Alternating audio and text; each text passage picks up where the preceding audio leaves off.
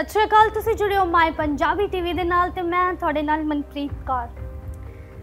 Barista ਕਾਫੀ ਦੇ ਜਿਹੜੇ ਸ਼ੌਕੀਨ ਨੇ, ਉਹਨਾਂ ਲਈ ਬਹੁਤ ਹੀ ਵੱਡੀ ਖਬਰ ਹੈ, ਕਿਉਂਕਿ ਬਰਿਸਟਾ ਕਾਫੀ ਨੂੰ ਪੈ ਗਿਆ ਹੈ ਬਹੁਤ ਵੱਡਾ ਜੁਰਮਾਨਾ। ਆਖਿਰ ਕੀ ਹੈ ਖਬਰ? ਆਈਏ ਨਜ਼ਰ ਮਾਰਦੇ ਇਸ ਦੇ ਉੱਪਰ। ਅਦਾਲਤ ਨੇ ਚੰਡੀਗੜ੍ਹ ਦੇ ਸੈਕਟਰ 35 ਸਥਿਤ ਬਰਿਸਟਾ ਕਾਫੀ ਕੰਪਨੀ ਨੂੰ 1000 ਰੁਪਏ ਦਾ ਜੁਰਮਾਨਾ ਕੀਤਾ ਹੈ।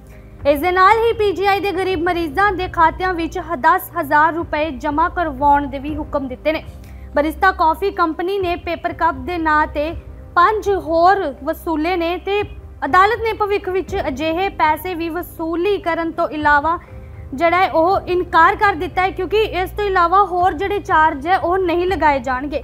ਕੰਪਨੀ ਨੂੰ ਆਰਡਰ ਦੀ ਕਾਪੀ ਮਿਲਣ ਤੇ 10 ਦਿਨਾਂ ਦੇ ਅੰਦਰ ਅੰਦਰ ਇਹ ਪੈਸਾ ਜਿਹੜਾ ਹੈ ਉਹ ਜਮ੍ਹਾਂ ਕਰਵਾਉਣਾ ਹੋਵੇਗਾ। ਸ਼ਿਕਾਇਤਕਰਤਾ ਨੇ ਆਪਣੀ ਸ਼ਿਕਾਇਤ ਵਿੱਚ ਦੱਸਿਆ ਹੈ ਕਿ ਸਾਲ 2020 ਵਿੱਚ ਉਸਨੇ ਕੈਫੇ ਤੋਂ ਗਰਮ ਚਾਕਲੇਟ ਖਰੀਦੀ ਸੀ, ਜਿਸ ਦਾ ਬਿੱਲ 230 ਰੁਪਏ ਸੀ। ਜਦੋਂ ਉਸਨੇ ਬਿੱਲ ਦੀ ਕਾਪੀ ਦੇਖੀ ਤਾਂ ਉਸ ਵਿੱਚ ਪੇਪਰ ਕੱਪ ਲਈ 5 ਰੁਪਏ ਜੋੜ ਦਿੱਤੇ ਗਏ। ਉਸ ਪੇਪਰ ਕੱਪ ਤੇ ਕੰਪਨੀ ਦਾ ਨਾਮ ਵੀ ਲਿਖਿਆ ਹੋਇਆ ਸੀ। ਜਦੋਂ ਸ਼ਿਕਾਇਤਕਰਤਾ ਨੇ ਕੈਫੇ ਵਿੱਚ ਇਸ ਤੇ ਇਤਰਾਜ਼ ਕੀਤਾ ਤਾਂ ਕੈਫੇ ਵੱਲੋਂ ਉਸ ਨੂੰ ਪੈਸੇ ਵਾਪਸ ਨਹੀਂ ਕੀਤੇ ਗਏ। ਉਸਨੇ ਇਸ ਬਾਰੇ ਅਦਾਲਤ ਵਿੱਚ ਸ਼ਿਕਾਇਤ ਕੀਤੀ ਹੈ। ਫੈਸਲਾ ਸੁਣਾਉਂਦੇ ਹੋਏ ਅਦਾਲਤ ਦਾ ਕਹਿਣਾ ਹੈ ਕਿ ਡਿਸਪੋਜ਼ੇਬਲ ਖਾਣ ਪੀਣ ਦੀਆਂ ਵਸਤੂਆਂ ਅਤੇ ਸਮਾਨ ਲੈ ਜਾਣ ਲਈ ਕੈਰੀ ਬੈਗ ਮੁਹੱਈਆ ਕਰਵਾਉਣਾ ਦੁਕਾਨਦਾਰ ਦੀ ਜ਼ਿੰਮੇਵਾਰੀ ਹੈ ਤੇ ਇਸ ਲਈ ਅਜਿਹੇ ਕਿਸੇ ਵੀ ਚੀਜ਼ ਉੱਪਰ ਕੋਈ ਵਾਧੂ ਚਾਰਜ ਜਿਹੜਾ ਉਹ ਨਹੀਂ ਲਗਾਇਆ ਜਾਵੇਗਾ। ਸਤਿ ਸ਼੍ਰੀ ਅਕਾਲ, ਤੁਸੀਂ ਜੁੜੇ ਹੋ ਮਾਈ ਪੰਜਾਬੀ ਟੀਵੀ ਦੇ ਨਾਲ ਤੇ ਮੈਂ ਤੁਹਾਡੇ ਨਾਲ ਮਨਪ੍ਰੀਤ ਕੌਰ। ਬਰਿਸਟਾ ਕਾਫੀ ਦੇ ਜਿਹੜੇ ਸ਼ੌਕੀਨ ਨੇ, ਉਹਨਾਂ ਲਈ ਬਹੁਤ ਹੀ ਵੱਡੀ ਖਬਰ ਹੈ।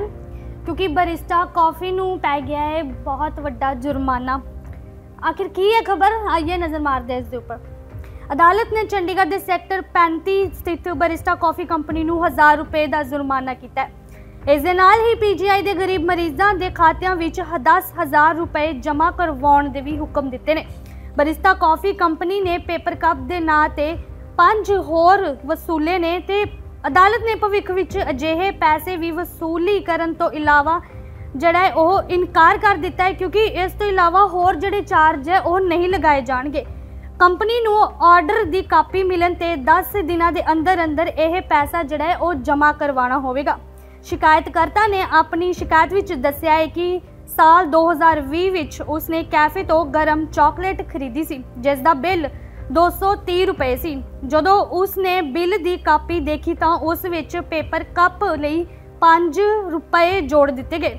ਉਸ ਪੇਪਰ ਕੱਪ ਤੇ ਕੰਪਨੀ ਦਾ ਨਾਮ ਵੀ ਲਿਖਿਆ ਹੋਇਆ ਸੀ। ਜਦੋਂ ਸ਼ਿਕਾਇਤਕਰਤਾ ਨੇ ਕੈਫੇ ਵਿੱਚ ਇਸ ਤੇ ਇਤਰਾਜ਼ ਕੀਤਾ ਤਾਂ ਕੈਫੇ ਵੱਲੋਂ ਉਸ ਨੂੰ ਪੈਸੇ ਵਾਪਸ ਨਹੀਂ ਕੀਤੇ ਗਏ। ਉਸ ਨੇ ਇਸ ਬਾਰੇ ਅਦਾਲਤ ਵਿੱਚ ਸ਼ਿਕਾਇਤ ਕੀਤੀ ਹੈ।